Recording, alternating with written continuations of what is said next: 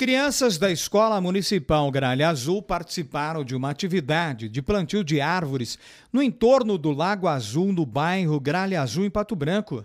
A atividade fez parte da celebração do Dia Mundial da Terra, data importante para refletirmos a respeito de como nossas ações impactam negativamente a vida do nosso planeta. E é um momento para cobrarmos medidas mais eficientes de preservação da natureza.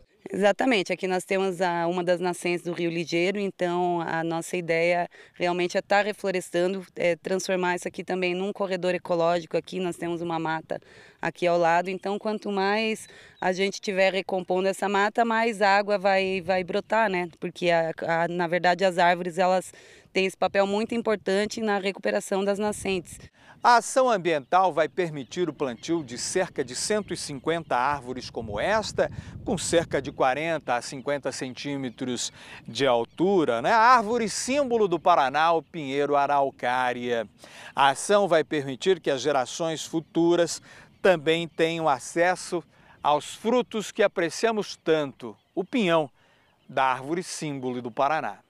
O presidente da Associação de Moradores do bairro Gralha Azul, Celso dos Santos, destacou que ações como esta ajudam na educação ambiental dos moradores do bairro. Bem legal, né? As crianças plantando aqui e elas vão estar incentivando, ajudando que os pais também ajudem a cuidar, né? Com certeza elas vão aprendendo na escola e vão passando para os pais e isso tudo vai englobar aí, né?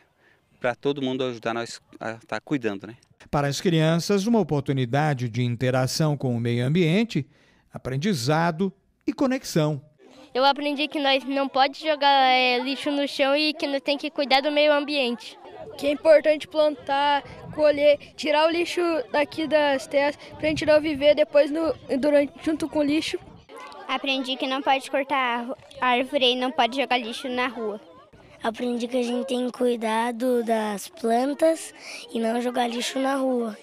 E você acha que os adultos estão fazendo bem esse dever de casa ou merece um puxãozinho de orelha? Merece um puxão de orelha.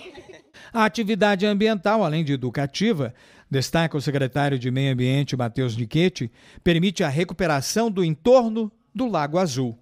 Nós temos um dos lugares aqui mais bonitos da nossa cidade de Pato Branco, que é esse parque aqui, né?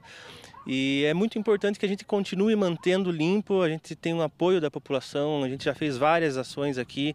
É um local que o, município, a prefeitura tem um olhar é, muito cuidadoso, né? um apego por esse local e a gente tem contado com o apoio da população, mas sempre pedimos que continuem mantendo esse local limpo.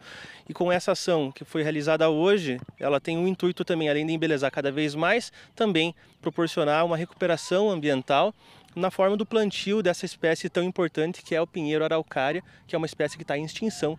Então, cada vez mais a gente precisa cuidar e replantar essa espécie para que no futuro tenhamos mais e mais exemplares.